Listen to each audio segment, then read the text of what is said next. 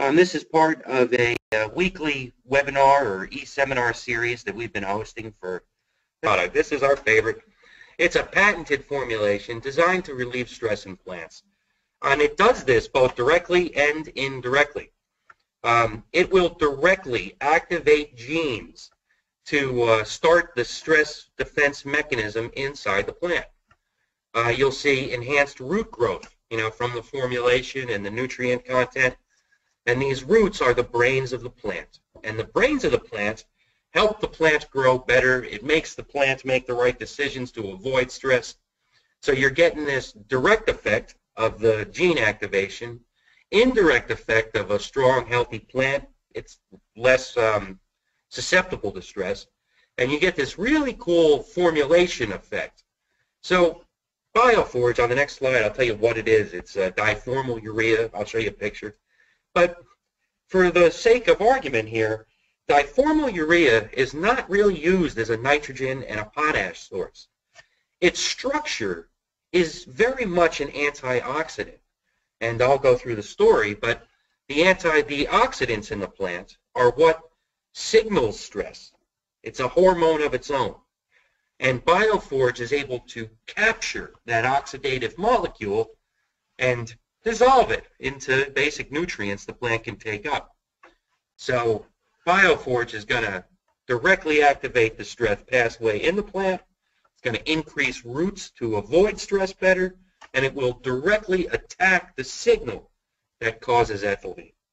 What the farmer is going to see is improved root growth, enhanced shoot development, um, we're really seeing a less stretching. The plants are stopped stretching for the sky. They look happier and healthier, and this results in more yield. Bioforge is really awesome because it's basically one of the first chemicals I've ever seen that can actually manage the environment. Very cool. So it's a reaction of two naturally occurring molecules. We take formic acid. Uh, those of you on the line, probably some of you know my uh, my ant story from the fields out in South America. I was actually giving this talk, and uh, we're talking about formic acid when I stepped on an ant's nest, and they came up my legs. My pants were flying in the air. Everybody thought I was joking around, but I got mauled by ants. What makes it burn is formic acid. When the ant stings you, it injects formic acid. So we take that naturally occurring molecule and we mix it with urea. And most of us have used or will use urea. Uh, you know, animal byproducts, basically. This is, uh, well, we'll not get into that. When you mix the two together, they form this bond. And this chemical reaction actually takes energy from the atmosphere to form all these strong, powerful bonds. And it's this molecule right here that directly stops that reactive oxygen stress. So it, the oxygen, reactive oxygen will bind right here. And then it wraps, and then you basically have urea and benign byproducts. So this is by diformyl urea. Um, we do have patents, and um, actually, a, a, this is a, a molecule, a new discovered molecule, and we were able to get a chemical abstract number. So uh, we're real excited about this. Bioforge is a go-to product. So enough, enough of that too much detail, right? Now, what? Why does it help? What are we doing? It sounds really good. So Bioforge, this application here, most of, you'll find a lot of our research. Uh, we are we are field guys, so you'll see a lot of pictures like this off the back of our trucks. Um, as Jerry says, never trust a man without a shovel, and uh, we live by that. So all of our reps, you'll find have shovels. Even uh, even in the Delta down there, Rick, he has a little shovel. But you can use Bioforge. This application here was an In-Furrow at 4 ounces per acre, right with the starter. And that was followed with Bioforge as a foliar with this uh, herbicide at the 12 ounce. So you're right now in between these two applications depending on where you are. So you can start, you can get that in-furrow, that seed treatment out, but always follow up with the herbicide and I'll explain why. When you compare that to the untreated control, it's it's a completely different uh, uh, picture here. Look at this. So you have long, deep root systems. Look at how white and healthy these guys are. The stalks on these are fatter. I mean, measurably fatter with a caliper. Just density, all this other good stuff. when you think of this, you know, this, this application is a foliar. It's going on young plants. So you're getting a lot of the Bioforge to hit the soil. And I get a question a lot of the times, you know, oh, is this really efficient? What's going on to the Bioforge that touches the bare soil? Well, you'll see with these root systems, as it develops a dense canopy, you'll have 100% root cover of that field. So these roots will actually grow into the bioforge that you sprayed and touched bare soil. So it will stay there long enough so that the plant, as it grows, can take up more of it. So even though we don't have full canopy closure at this application, this herbicide pass, we're still going to get good effectiveness from the Bioforge. And uh, that's because of this root interception that we'll see. Um, Bioforge works on lots of crops. Uh, I do a lot of the, the research work here, and uh, I, I mean, I don't think I don't think there's a crop that people eat that we don't spray. Uh, you name it, we spray it. Here was just a seed treatment. So we put Bioforge out at the two ounce per carrot weight right here on winter wheat. And by the next year, when you come out come out there in April for your green up sprays, you see better density, more crowns, more tillers, and all that other good stuff. So then with your green up spray, you have all this stored energy we need to mobilize. So with your nitrogen, when you're putting out that spray, throw some stimulate in. And that's the second half of this talk. I'll teach you how to use that. Look at what Bioforge can do. And these winters can be particularly harsh.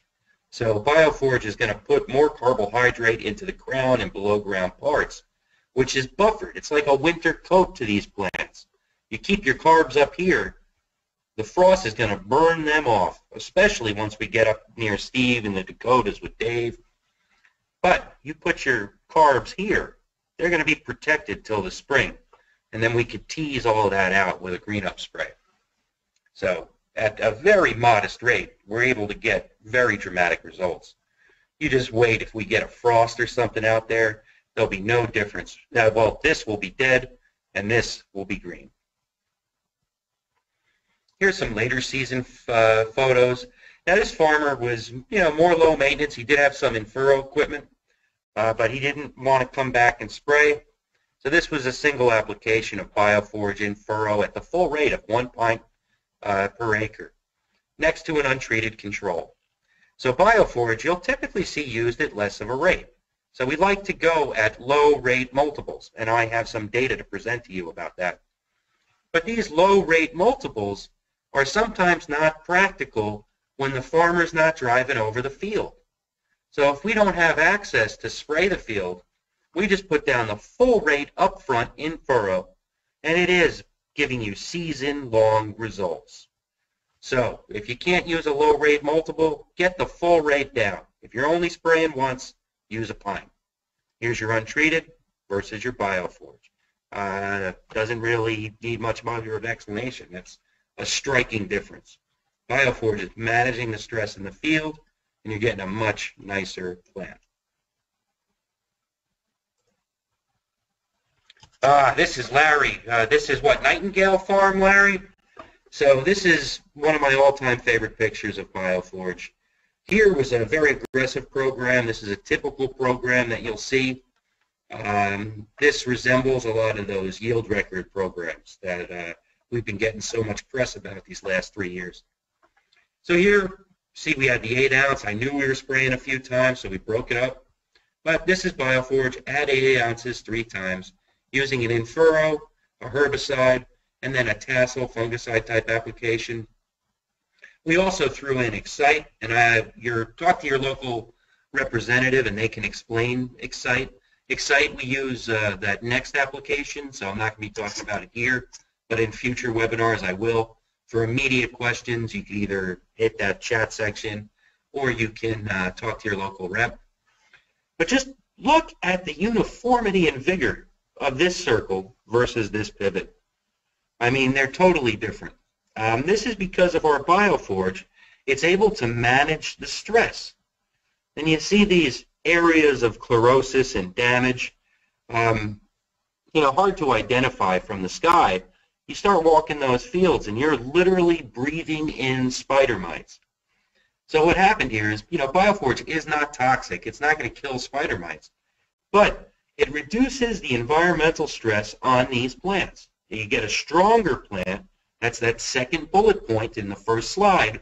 Stronger plant is more tolerant to disease and pest than, uh, than weaker plants that are under drought or heat or whatever it might be. So this here has a noticeably bigger root system. Those brains are able to pump, you know, more chemicals into the plant, and then those little biological chemical factories are able to ward off pest and disease.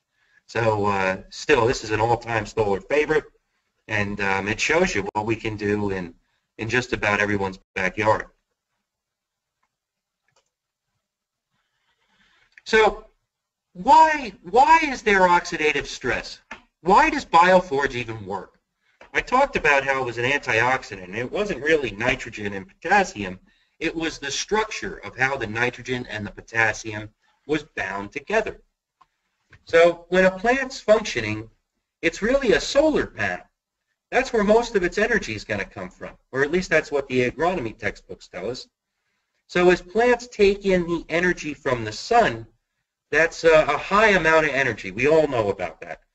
Uh, go to the beach, um, you know, take your shirt off for the first time that year and sit out there for a while and you would all tell me how powerful the sun can be. It burns our skin. So plants, they can't really move around and put sweatshirts on like we can. As the sun comes down, it needs to efficiently capture that energy or it's going to cause stress. It's going to burn. It's going to cause oxidative particles to bounce around this cell and screw up these cycles. These thylakoids and membranes are made out of lipids. Lipids are fats.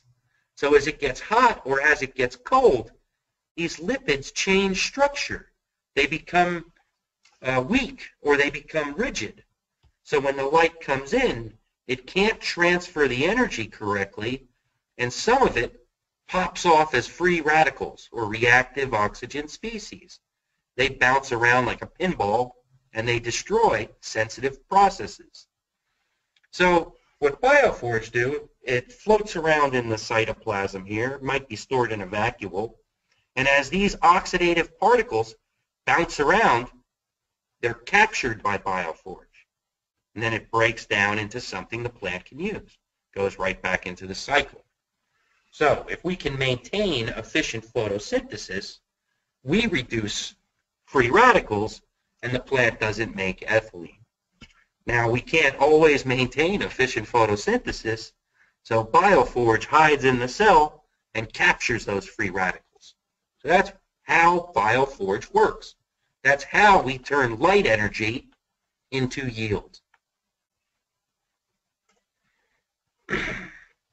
so I just said a lot of this, but to recap, reactive oxygen species are the signal. It comes from inefficient use of the sun's energy. You know, you have a lot of atoms and stuff in there. It binds to that. They bounce around in the form of oxygen with an extra energetic electron. So the use of these antioxidants helps neutralize the damage from any of these reactive oxygen species that do form. So this balance is between antioxidant production in the plant, it's part of a natural defense, and the reactive oxygen that's essential for the productive plants and yield preservation because reactive oxygen itself is a signal. So this is the uh, diagram of how we manage that. Now when your free radicals get too high and start to cause stress, we can add antioxidants like Bioforge to shift it the other way. So all plant stress could lead to ROS, and that's because of that cellular picture I showed you before. You know, anything that causes inefficiency of photosynthesis will ultimately lead to the generation of reactive oxygen.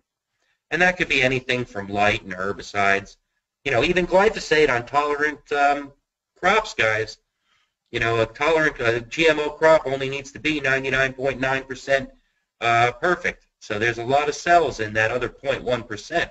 All have an abundance of ROS. So Bioforge with herbicide is going to protect photosynthesis. It's the process of photosynthesis that actually generates these species. Of course, there's direct effects. Uh, ozone, this comes across. You'll see a band of it near the Mississippi. Uh, drought, very well known. All pathogens, as a pathogen bites, you get inefficient photosynthesis, and then this generates ROS and anything else. Even root nodulation. This is funny on uh, beans. So beans uh, live with the rhizobia, and it's this symbiosis that helps the rhizobia fix nitrogen from the air and put it into the plant. But there's a bacteria. The bacteria is literally biting the plant. That is a stressful time. So Bioforge can stop the stress of the symbiosis and make it a better symbiosis. It's going to reduce reactive oxygen, and it's going to stop yield loss. Here is our famous graph. Um, this basically explains the life cycle of the plant. Um, by managing this graph, those of you on the list, I'm looking down the list, you laugh at me because I could talk for 10 hours about this slide. Uh, a keen understanding of this slide is going to help you manage your fields. So if you look here, stage one, two, three, and four are the basic stages of crop production. It's generalized, so we could talk about all crops, not just one or two. But it's this symphony, this hormone symphony, that dictates what's going to happen in the cell. Are we going to initiate a new cell? Are we going to divide? Are we going to size our cells? Are we going to grow old, senesce? What do we need? And it's these key nutrient components that support these stages. So what you'll find Stoller really brings to the table is this use of the right nutrients with the right hormone combinations to manage the symphony. So these are the next part of the slides. Ethylene and ABA can be managed with Bioforge. So this is how we stop stress. And we can lower this in all stages to make sure these stages progress normally. Uh, this is a patented model. So, uh, hey, go right on Google Patents and read about it and then you can shoot us questions. We love talking about our science. Oh, here's a picture of our building. This is uh, Stoller USA. I won't go into the corporate pitch here, but as you know, we have a whole research and development company, and this company is based, uh, it is Stoller, all Stoller scientists, and it's based, it has a lab in the Norman Borlaug Center that, uh, that we work directly with the faculty from Texas A&M University and it allows our, our scientists a way to interact, you know, very creatively to attend the weekly seminars so that they could stay on the top, the cutting edge of what, of what plant biology really is. Then we have a team of field agronomists. I notice most of them are on the, the webinar right now.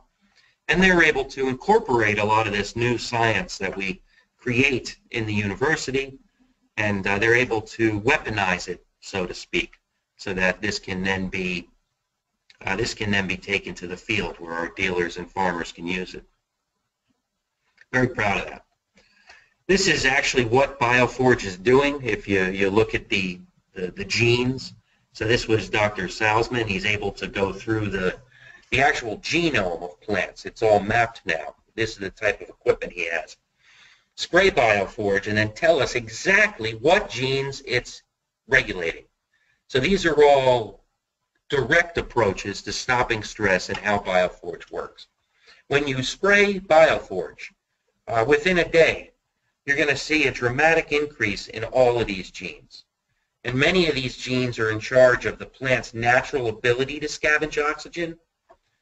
It's also involved in this ABA management, which is ultimately that death, like ethylene ABA, so we can, we can manage that better.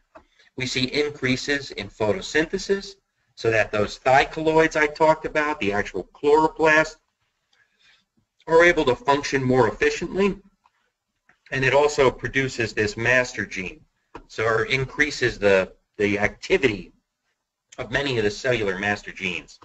So Bioforge is acting directly on the DNA. This is very unique. Then we measure what it does. So we say that reactive oxygen species is what signals ethylene. So we wanted to make sure we were getting the full chain. So also in the lab, we use gas chromatography. on Arabidopsis plants. These are model test plants for plant biology. And we're actually able to spray them and compare them to an untreated control. And we can measure that when you do apply Bioforge, you get a reduction in ethylene.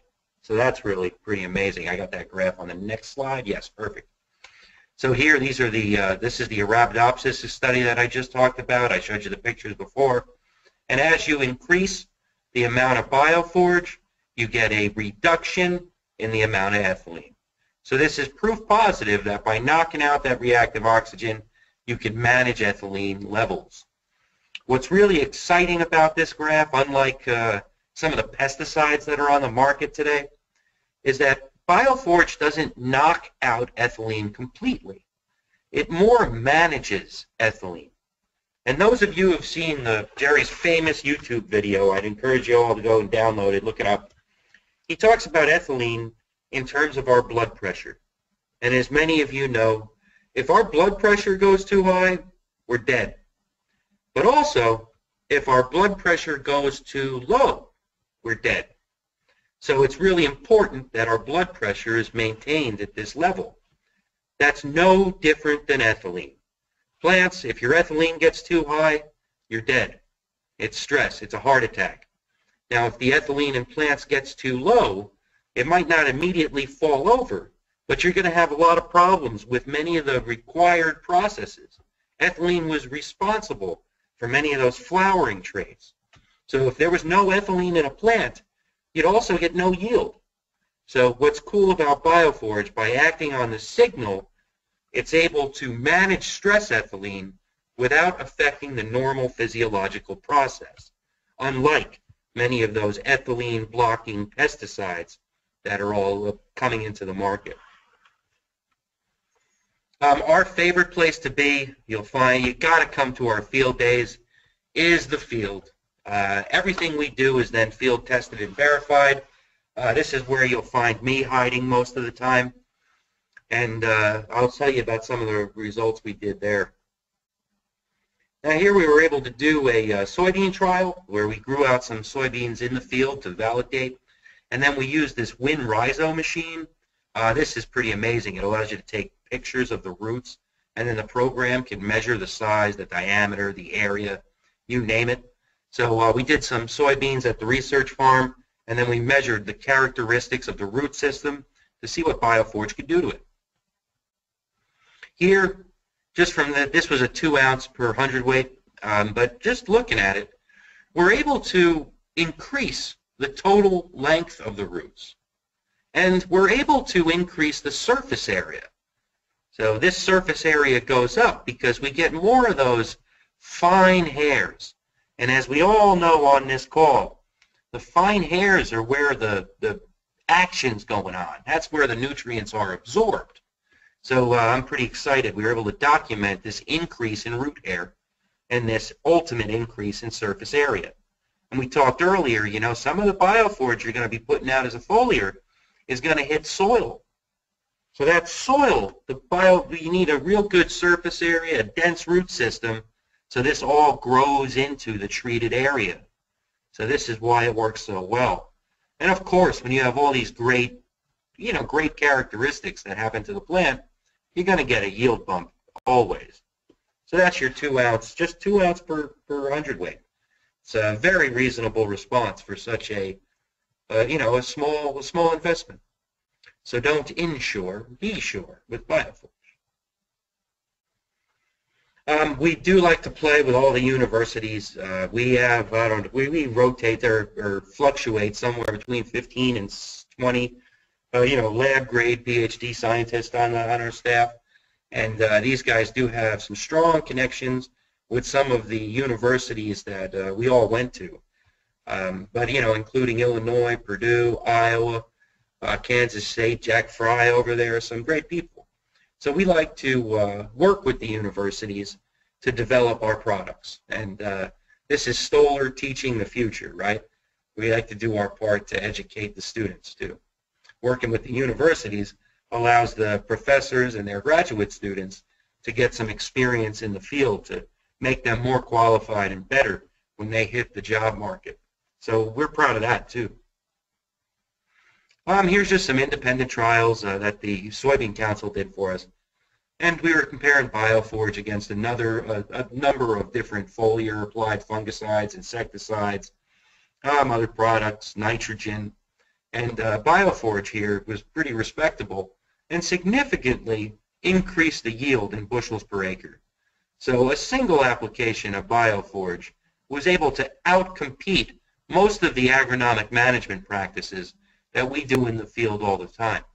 Now, Bioforge is not a substitute for a good fertility program, but used with a fertility program, Bioforge is going to increase yield every time. And this is independent outside data. You can go to this. The full write-up of this study is on uh, the, their website. So Bioforge, uh, some of you have heard the, the claims we make that Bioforge makes the plant make its own water. Yes, that's right. I'll say it again. Bioforge helps the plant make its own water. So this is a loaded statement. what Bioforge is doing is increasing the photosynthesis. It's increasing the efficiency of the plant cell. It's increasing this transfer inside the plant. So when plants are healthy and growing, they make root exudates. So when you have a healthy plant, you have a healthy root system, you have healthy xylem and phloem, and because of that, you're going to have a moist root ball. The plant has to exude ions and liquids to then intake fertilizer. And we see this, and I have a whole presentation on this if you're interested. Maybe we could do it around drought time on one of the uh, on one of these webinars. But this is pretty pretty cool. That's why it works so well to protect the plants from drought. It's able to recycle the water inside the plant so that plant can remain healthy, happy, and alive until the rain returns. So it's it's a race. Life is a race. Uh, if it rains tomorrow and I needed it today, I'm dead. But if I could get by till just tomorrow, I'll recover. So this here was a V4 foliar application uh, with a herbicide. And we're just looking at the effects of headline, Bioforge versus an untreated control at this application rate or application timing, uh, one pint to the acre. Looked at percent wilting here, 0 to 70. You know, 100% wilt is uh, beyond field capacity. It's the no return point. Uh, and then different plants would have different uh, different points of last of last being alive anyway. But here the check, the untreated control, always had more wilting than either of the treated plants, either the Bioforge or the headline. So here you'll see that Bioforge and headline behaved very similarly in terms of preventing drought. And Bioforge being a, uh, a fertilizer, an antioxidant, you know, that's safe for the environment versus uh, registered pesticides, which have potential off-target effects that we're not concerned with, or we're not, we're not necessarily, we don't know. So here, Bioforge is able to compete with commercial pesticides in reducing wilting. And this is good because Bioforge is never going to create a resistant fungus. Whereas if we overuse fungicides, we could lose the effectiveness of that tool. So we have to be really careful about that. So Bioforge is a way to get a, a more productivity during drought without using pesticides that could cause fungicide resistance. And this is a long-term real effect. Oh, this is from Dr. Robertson up at Iowa. And uh, this is where we first discovered that this low-rate multiple approach is pretty powerful. So I was saying earlier that if you're only going to spray once, you go with a pint. That's the full labeled rate. But if you have the opportunity to split it into multiple applications, like a seed treatment, a V4, and a fungicide, you're able to get a dramatic effect. That's because Bioforge, is being an antioxidant, you know, it's going to stop oxidative stress and it'll naturally decline in concentration inside the cell. So by using a little bit multiple times, you get a higher effective concentration for longer. So it's not that the one pint uh, is not going to give you a response, but it's we can get an even better response. Um, all of these application timings, seed treatment, V4 herbicide, pre-tassels with a fungicide, all of these uh, bars were standardized by rate so that we weren't looking at a dose response. We were looking at a, a, a low rate response, a multiple low rate response.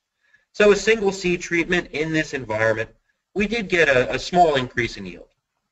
Now, if we went at the herbicide, just a single application, we got a noticeable increase in yield. So this was this was pretty nice. Uh, this is because of all the stress with the herbicide.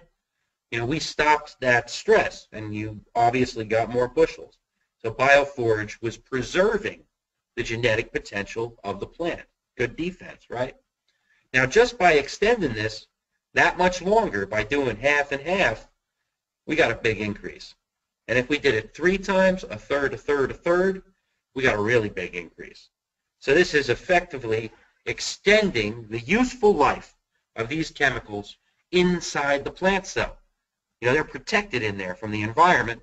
So when stress comes along, reactive oxygen goes up, and our Bioforge is there to the rescue. So thank you, Dr. Robertson. It's always a pleasure. So Bioforge in summary, how are you going to use it? It's flexible. Um, our products are flexible. They're all developed uh, for different application strategies because we know different farmers do different things. So it can go as an in-furrow, as a seed treatment. Uh, I've used it as a side dress. We all use it as a foliar, particularly with herbicides. Um, Larry there from the pivot, uh, he uses it through the pivot. That was the circle with the spider mites.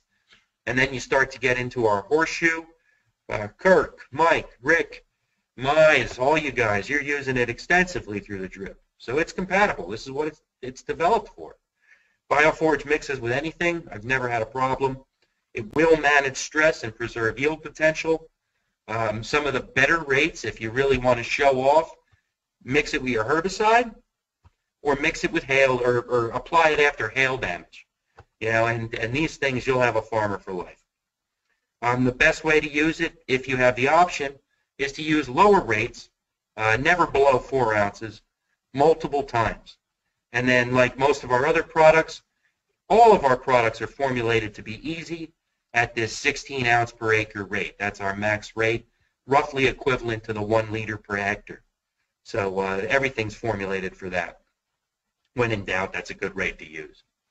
There is a Bioforge ST this is formulated just as a seed treatment for all you seed treaters out there. Uh, it does have the diformyl. Uh, it just has a stronger concentration so that you don't need as much liquid. We, we know that there, real estate's expensive on a seed. We can only fit, what, 8 ounces, maybe 10 ounces to, to a bushel. So this helps you fit more stuff on it. We also put humic acid in there. Uh, the humic acid really aids in uh, micronutrient uptake. Humic is a liquid carbon and this helps to dissolve some of the nutrients, you know, metals and stones in the plant in the field, and get them into the plant. So ST is different because it has this aid of micronutrient, and it's also stronger, so you don't need as much. Um, it is compatible with other plant protectants, uh, Acceleron, you name it, and uh, it's going to noticeably aid root development and aid in nodulation. So similar to Bioforge makes plants make its own water, it's these exudates, these secretions that come out of the roots. Bioforge increases that. Those secretions are actually the food of the nodules. So it can stop the stress from the little bacteria biting it, and it can increase the amount of food the plant feeds the bacteria. So all in all, you get a lot more nitrogen out of those nodules. And that's uh, formulated for this 2 ounce per hundredweight. So ST and Bioforge, there's their summary. In terms of our crop, you know, when do you really want to use it? Uh, this is corn. There's no bad time to use it. So uh, anytime that you're expecting stress, season long, put it out there. Um, as a management, as a as a plan, like a, a program, I like to put it out early, get it out there as a seed treatment or in furrow in case I get some damage here. Right now I'm looking out my window in Texas and you know there's cruise ships floating by. It's so flooded. So if you look around here that bioforge seed treatment or in furrow will protect against early season floods or some you know or well, that's typically here it'll help stop hail so when the hail breaks the plant the, the plant's going to be ready for it right around here Come in at the herbicide maybe. Herbicides are stressful. Good time for Bioforge. So, or even here, when we're starting to get into all the drought, this is when what? The oven turns on, right? The rain turns off, the oven turns on, so Bioforge might have a place right here too. That's when we use it. You know, similarly on uh, on soybean, yeah, you could basically treat those crops very similar. Uh, we go early, you know, just in case we need to stop something, but then we can also use it to manage some of the stress later in the season. Uh, once we get later, oh, I want to talk to you about the beauty of some of these late season applications, but that's not for this webinar. I'll talk forever, but that'll kill me. So here we go.